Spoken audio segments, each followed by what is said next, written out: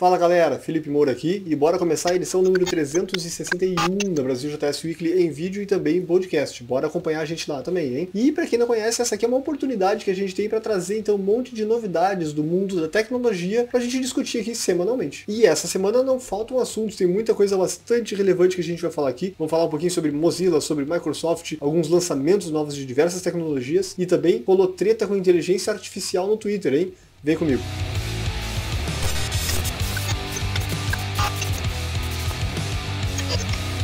A gente começa falando então para quem gosta de trabalhar com terminal, né? Eu gosto muito de utilizar ali várias ferramentas, vários comandos que a gente trabalha no dia a dia. E tem então o lançamento da versão 1.0 do GitHub CLI. A gente já comentou inclusive sobre esse projeto, agora ele está sendo lançado com a versão 1.0 oficialmente, né? E é, não é o, o Git, né? É o GitHub. Então tu roda um comando chamado gh e aí passa os parâmetros. E é legal que tu consegue assim integrar coisas, como por exemplo, pode aceitar por requests, tu pode fazer merge, tu pode lidar também com as issues, comentários. Então é muito interessante essa abordagem e eles têm inclusive, um, eles trabalharam de uma forma aqui, tu consegue inclusive colocar isso no, com pipes, né, fazer streams disso. Então tu consegue passar o resultado de um comando para dentro de outro. Achei bem interessante e eles inclusive expõem aqui que eles têm uma API muito poderosa que vai abrir portas para quem quiser utilizar a criatividade para construir uma coisa ainda mais poderosa.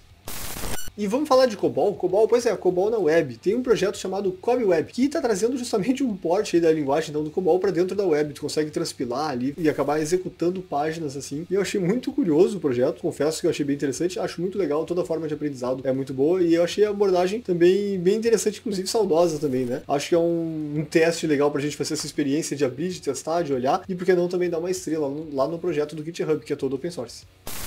Bora falar de Mozilla um pouco? A Mozilla vem fazendo um movimento aqui bem delicado ultimamente, né? Muito por questões financeiras, um pouco de questões estratégicas também. E isso envolve também, é claro, acabar matando alguns produtos. E eles estão anunciando essa semana, então, que estão matando mais dois produtos novos. Trata-se do Firefox Send e do Firefox Notes. O Notes eu até nunca usei, tá? Mas o Send eu gostava muito. A gente já falou, inclusive, para quem acompanha o Weekly, a gente falou há pouco tempo aí que o Firefox Send estava sendo pausado momentaneamente, porque ele estava com um problema que as pessoas estavam utilizando ele de uma forma muito errada, né? O que acontece é que ele era uma ferramenta que te permitia, então, enviar arquivos muito grandes de forma criptografada e tal, tinha toda uma, uma preocupação ao redor da sua privacidade, porém tinha algumas pessoas que estavam utilizando ele para fazer phishing ou para mandar algum tipo de arquivo malicioso, né, para executável, e aí a Mozilla acabou fazendo uma pausa desse, desse projeto e anunciou agora oficialmente que eles não vão reabrir, então o projeto realmente está sendo abandonado nesse momento, o que é uma pena, né? E o projeto esse do Firefox Notes, eles comentam que foi um pouco de um, um experimento que eles fizeram também e que agora, estrategicamente, já não faz mais sentido tentar manter ele também. Esses projetos eles nasceram no Firefox Test Pilot, que era uma iniciativa da Mozilla para ficar lançando produtos novos no mercado e ver os resultados.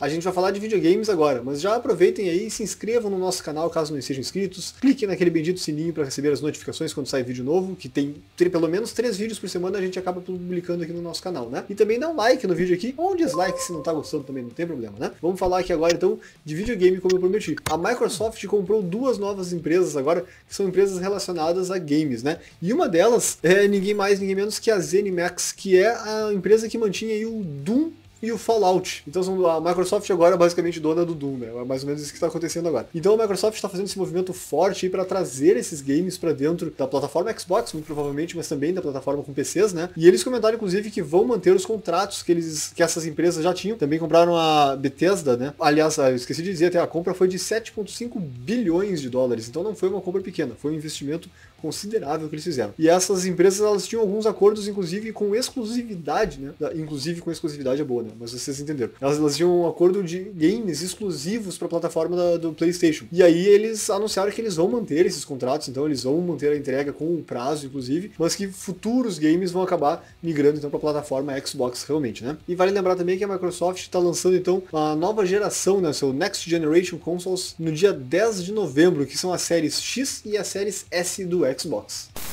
E o JavaScript não para, né? Na verdade, o ECMAScript, o ES, segue evoluindo, seguem com novas propostas, e o TC39 está anunciando aqui que eles estão evoluindo algumas das propostas. E aí eu queria comentar com vocês que eles estão evoluindo então a inicialização de blocos estáticos nas classes em JavaScript, agora foi para estágio 2, então está seguindo, está evoluindo, está amadurecendo, né? Também o método item, para pegar alguns itens, né? Em tudo que for indexável, também tá, agora foi para o stage 3, né? o estágio 3 da, da proposta. O import assertions foi para o nível 3 também, e dentro de internationalization, que é o Intel, aquele objeto global, né? Nós temos o Display Names, que foi para o nível 4, e o Enumeration, que foi para o nível 2. É legal ver que as coisas estão andando que as propostas não estão paradas, né?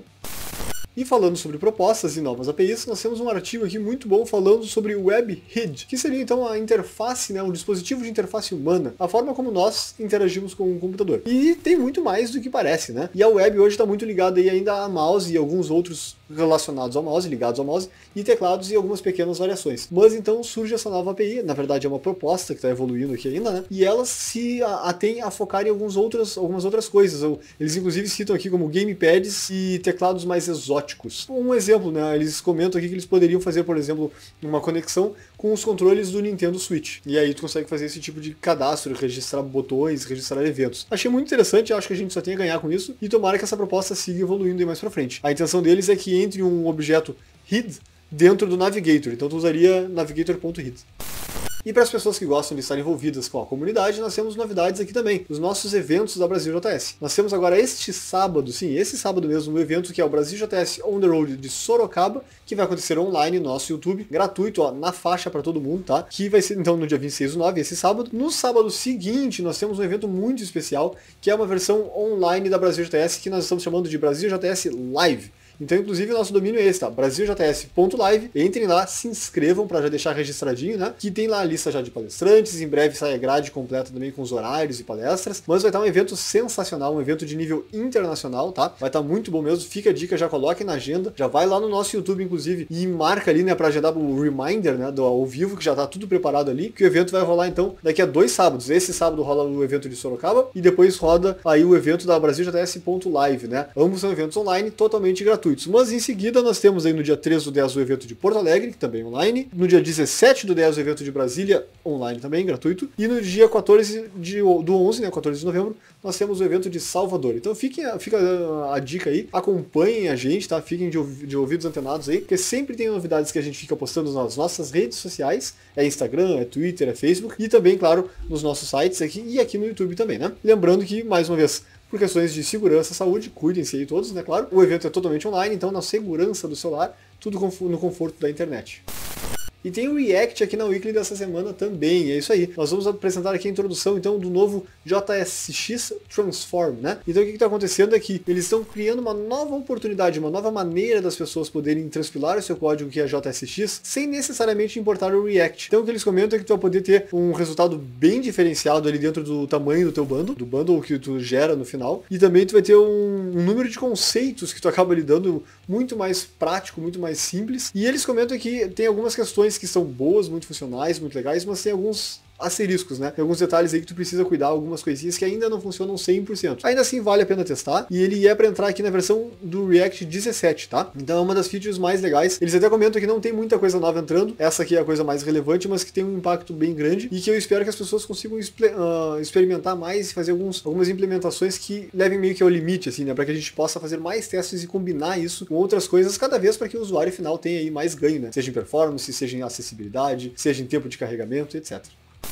E para quem gosta de Vue.js, nós também temos novidades sobre ele, não é sobre, só sobre o React não. O Vue 3.0 está chegando aqui e agora com TypeScript, olha só que legal. E eles estão comentando inclusive que as maiores modificações, as maiores evoluções na versão 3.0 estão ligadas ao Initial Render Speed, então o tempo da primeira vez que ele renderiza, que normalmente a primeira vez é um pouco mais demoradinha, né? E depois tem também melhorias na velocidade do update, então a forma como ele segue atualizando a interface. E também melhoraram o uso de memória e o tamanho do bundle. Então foi, foi muito focado aí na parte de performance, mas o que é muito bom, o Vue, o Vue.js sempre teve um peso muito grande, assim, foco muito grande nessa parte de performance, né? E nota-se que eles seguem fazendo esse tipo de improvement. Isso é muito legal. E ainda a gente tem um artigo que fala justamente sobre algumas outras coisas que eles estão acrescentando, mas o foco dessa versão acabou sendo mesmo nessas evoluções e também a implementação agora do TypeScript por dentro do, do código deles. Né? Então o code base deles está todo com TypeScript, inclusive eles comentam que eles já atualizaram, né? já está tudo atualizadinho lá, utilizando o TypeScript de fato, não é simplesmente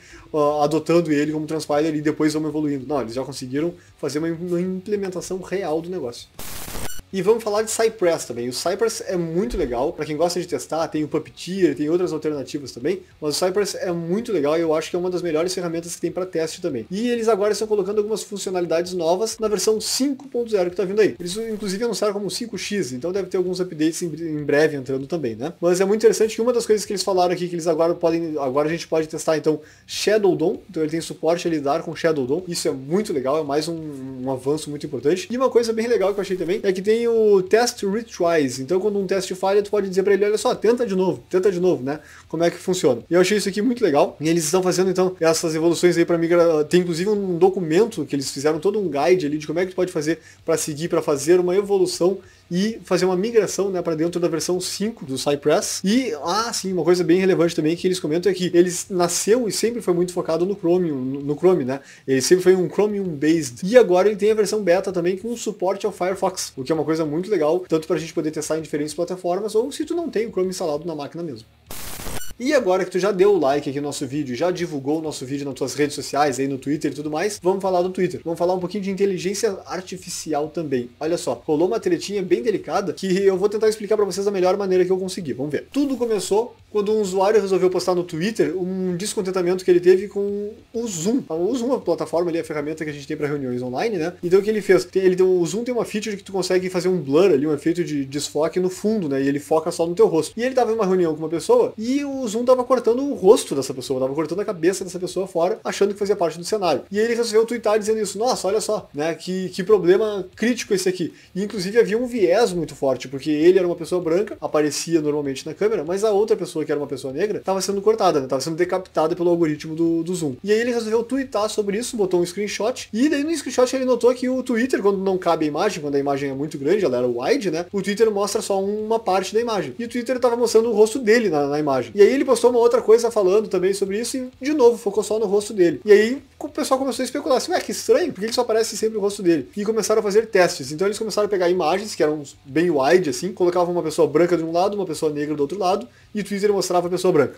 Eles invertiam os lados, postavam e de novo o Twitter mostrava apenas a pessoa branca, né? Ele cortava ali a foto, fazia um crop da imagem e mostrava apenas a pessoa branca sempre, não importa qual era o lado. Fizeram na vertical, fizeram na horizontal e daí começaram a brincar inclusive com contraste, que a alegação seria que o contraste era o problema. Mas para tu conseguir inverter. Até eles fizeram um teste ali do Obama e o Mitch McConnell, que é um, são políticos, né? eram políticos no caso do Obama. E aí o que eles fizeram foi que eles colocaram os dois e foram mudando o contraste para ver qual é o, qual é o ponto de divisão, né? Onde é que inverte. E aí o, Obama tinha que ficar completamente opaco e a outra pessoa de uma maneira muito escura para poder realmente inverter, assim. O Twitter já se manifestou dizendo que eles estão investigando, que vão abrir toda uma equipe lá para poder trabalhar e focar em cima disso. Eles disseram que fizeram sim testes de bias, né? De vieses, antes de lançar essa, essas features, mas que ainda assim passou esse furo, né? Claro. E eles comentaram que eles acham que está relacionado a pelos faciais, alguma questão de iluminação e tal, mas, né? Não adianta, a gente acaba vendo o resultado. E curiosamente, inclusive, teve gente ali que postou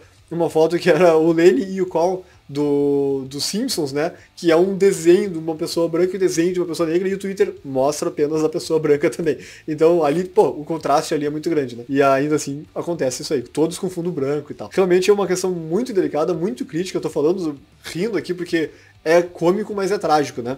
É o tipo de coisa que em plenos 2020, com inteligência artificial evoluindo do jeito que tá, não deveria estar acontecendo mais, assim, né? Nós já, já temos uma consciência muito maior sobre esse tipo de coisa. E ao mesmo tempo é importante que tenha acontecido, porque veio dos usuários para dentro do Twitter, né? para dentro da equipe do Twitter. E o Twitter já se manifestou dizendo que vão estudar, vão investigar, vão tentar resolver esse problema, e eu espero ver resultados muito em breve. E a comunidade tem que seguir mesmo monitorando e criticando esse tipo de coisa, jogando no ventilador mesmo.